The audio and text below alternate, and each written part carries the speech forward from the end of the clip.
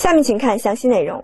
近日，公安部常务副部长杨焕宁实地检查了我局执法规范化建设工作，并给予了充分肯定，称赞我局很好地发挥了全国公安机关执法规范化建设的领头羊作用。八月二十九日，公安部党委副书记、常务副部长杨焕宁就执法规范化建设工作到我局进行了实地调研，市局局长付振华陪同调研检查。在朝阳分局三间房派出所，杨焕宁实地检查了户籍大厅、治安纠纷联合调解室的区域设置情况和立案公开查询系统使用情况。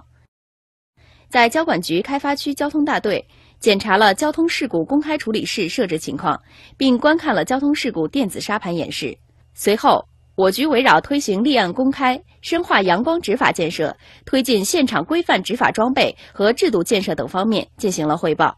杨焕宁对我局大力推进执法规范化建设取得的成绩给予了充分肯定。他强调，各级公安机关要认真自觉抓好执法规范化建设，不断提升公安机关依法履职能力，始终把执法规范化建设作为事关全局的基础性工作，进一步提升公安机关的公信力，不断增强为人民服务的能力，更好地维护人民群众的根本利益。